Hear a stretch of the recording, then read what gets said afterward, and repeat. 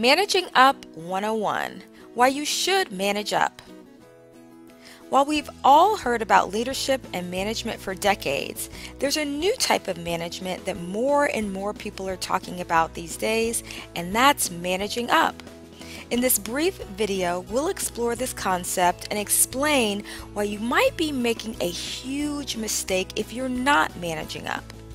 Having spent more than two decades in and around the corporate workplace, I've definitely noticed a type of organizational caste system of sorts, with leaders at the top of the food chain and worker bees at the bottom.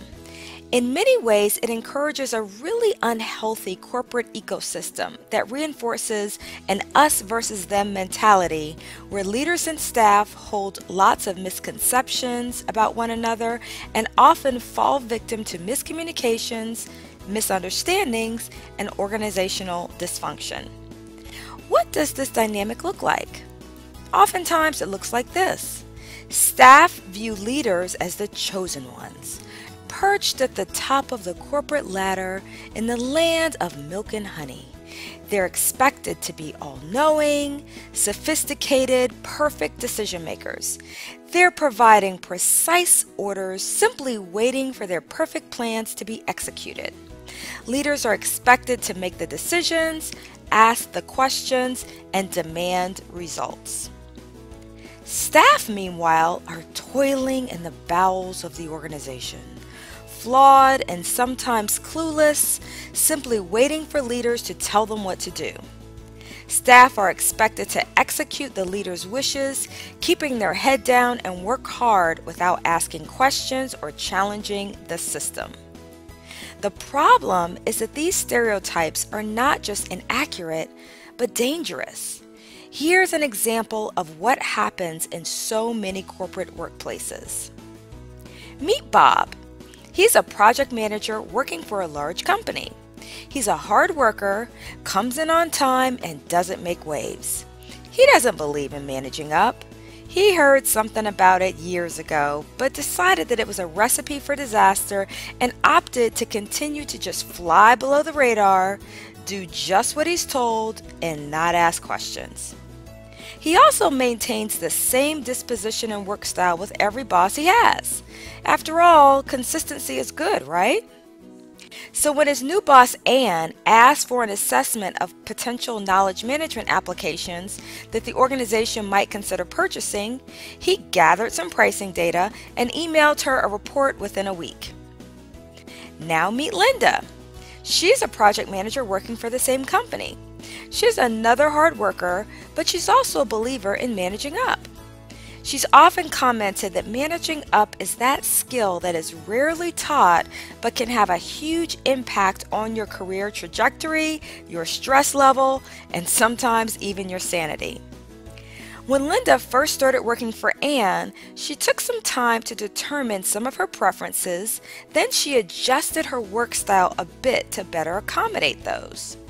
So when Ann asked her to assess potential knowledge management applications late in the day on Friday, she asked her if she could get some time on her calendar Tuesday morning to check in with her on the request. Linda knew that Ann was a morning person and seemed to respond better earlier in the day.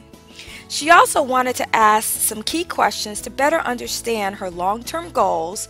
For example, why she was interested in a new knowledge management system so she could be sure to gather the most relevant information, whether it be security features, bandwidth, storage, scalability, and so on. Once she confirmed when she needed the assessment, Linda scheduled some time on her calendar to walk her through the document in person. Why? because Anne had told her months earlier that she really detested email and preferred face to face interaction. And another thing, in the report, she not only provided her the application assessment she requested, but she also provided some additional non software specific ideas about how to enhance knowledge management within the organization just for her consideration. Linda was managing up, and Anne wished everyone else on the team were more like her. So, what is managing up anyway? My book, The Unwritten Rules of Managing Up Project Management Techniques from the Trenches provides a formal and informal definition of managing up.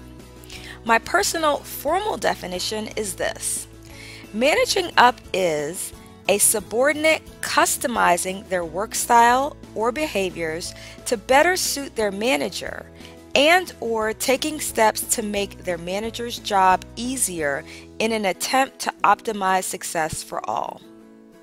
Another way of looking at it is managing up is about taking things off your boss's plate and making their job easier. While this may sound like a no-brainer, in some ways it runs counter to the reflexive, passive view of workers just keeping their heads down, doing what they're told, and not asking questions. While managing up may and should look different based on various factors like the organizational culture, the task project in question, the boss subordinate relationship and personalities, and so on, there's some fairly common managing up type behaviors. Employees who are actively managing up are typically those who will anticipate problems and actively work to prevent them, actively work to make their boss's job easier by being exceptionally reliable and productive, adjust their work and communication style and approach to better fit their manager's preferences, be particularly flexible and willing to take on the dog projects that no one wants, speak truth to power when necessary, be the one willing to tell the boss the ugly truth when others won't and learn to navigate prickly or difficult boss personalities to achieve optimal results for the task, team, or project. This is why so many leaders that I encounter wish their staff would learn to manage up. You can find many more tips and techniques in my book, The Unwritten Rules of Managing Up Project Management Techniques from the Trenches. In addition to providing valuable managing up techniques for the great boss scenario, it provides tips and techniques for managing six particularly challenging senior leader personalities, including the micromanager. Don't mind my hovering over you, I'm sure you're doing a great job. By the way, can I get another status update later today? The clueless chameleon. I'm not exactly clear on what I'm looking for, but I'll be sure to hold you responsible when I don't get it the wishful thinker. Would you please boil the ocean and solve world peace too while you're at it? The tornado. I hope you don't mind me intimidating everyone with my overbearing nature at your team meetings. I'm just trying to help you speed things along. The Naked Emperor. I love the sound of my own voice. Aren't my ideas brilliant? And the MIA Boss. I'm sure you guys have everything under control. I'll be traveling the next few months, so just holler if you need me.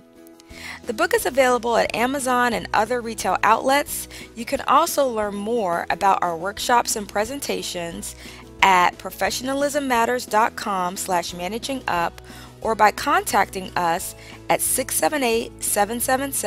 678-777-7188 or info at professionalismmatters.com. I'm happy to speak to your group to offer best practices for better teaming, more effective collaboration, and increased productivity.